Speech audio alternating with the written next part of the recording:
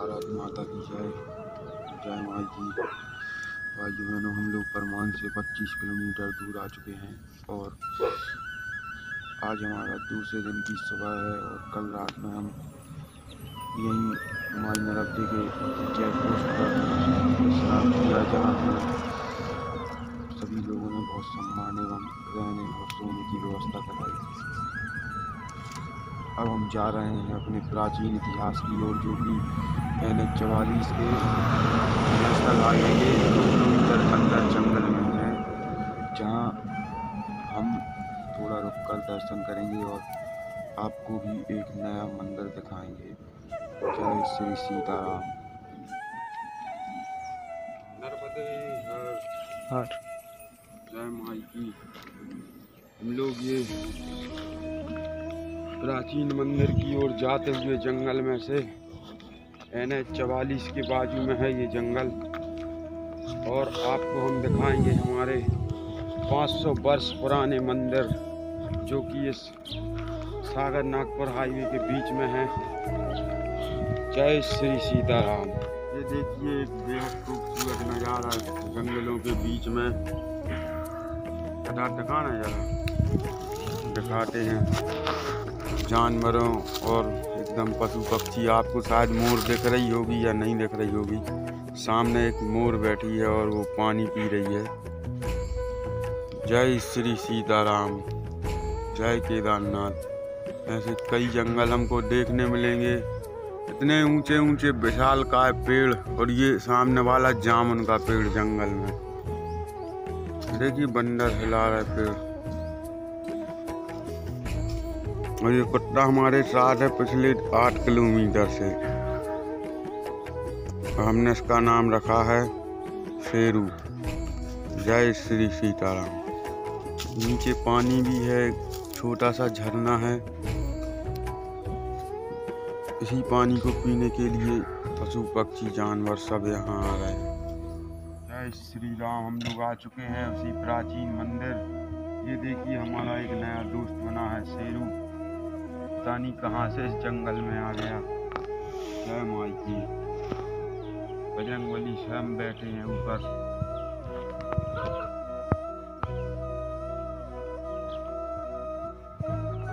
जय श्री सीताराम।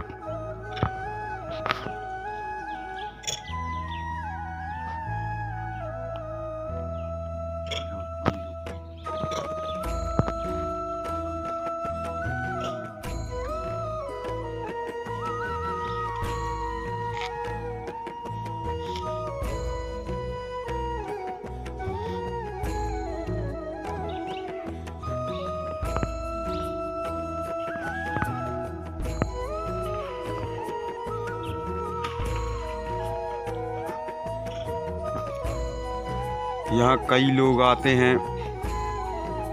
बहुत ही सुंदर जगह है एकदम। सुकून, चैन और जो भी अपन कह सकते हैं, शांति, भगवान यहीं मिलते हैं। और काफ़ी अच्छी व्यवस्था भी है। बरसात में भी आप आ जाएँ, कभी भी आ जाएँ। लेकिन हमें कचरा बस नहीं फैलाना। आप देख सकते हैं कैमरे में आपको यहाँ डिस्पोजल और मतलब ये पहाड़ है। प्राकृतिक कचरा हो तो भी चलेगा, सब्ज़ी के छिलके के तो चल जाते हैं। लेकिन ये डिस्पोजल पन्नी वगैरह हमें आगे से किसी भी स्थान पे नहीं फैलानी है।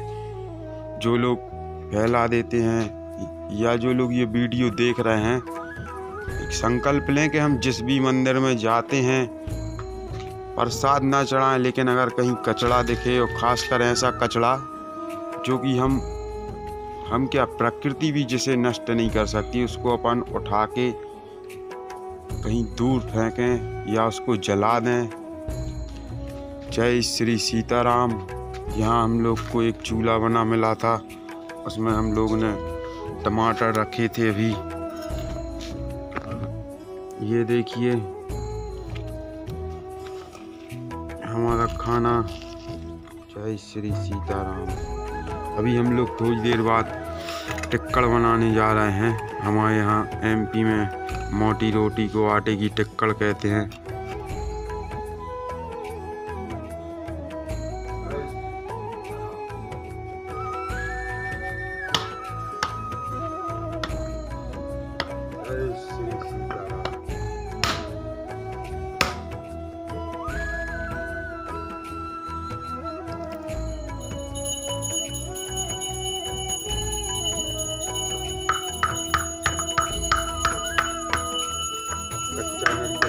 रहे तो एक दो बार ऐसे मारने से उसको ठोकर पूरा नारियल अपने आप, अपने इस कड़क खोल से बाहर आ जाता है। नहीं तो कई लोग उसको हाथ में भी लगा लेते हैं। जय श्री सीताराम।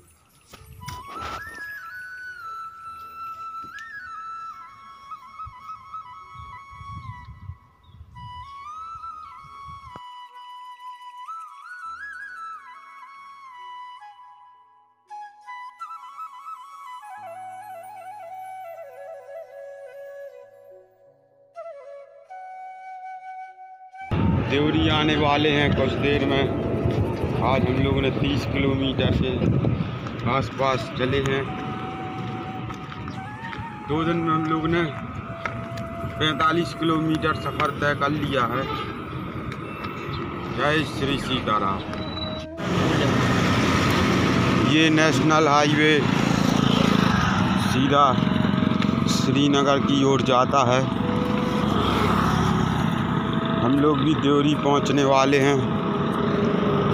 अभी कुछ देर पहले हम लोग एक टोल से निकले, जो कि हमें बरमान जाते समय पड़ा था।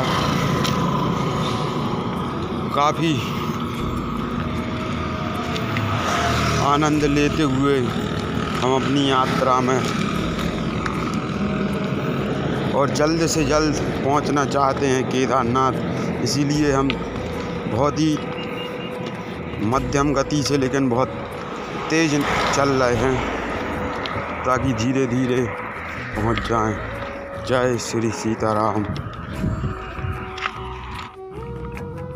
हम लोग को चलते चलते शाम हो चुकी है और हम लोग दस ग्यारह बजे रात में एक मंदिर है आगे। वहाँ रुक रहे हैं। आज ठंड भी बढ़ चुकी है और बहुत ताकत भी महसूस हो रही है।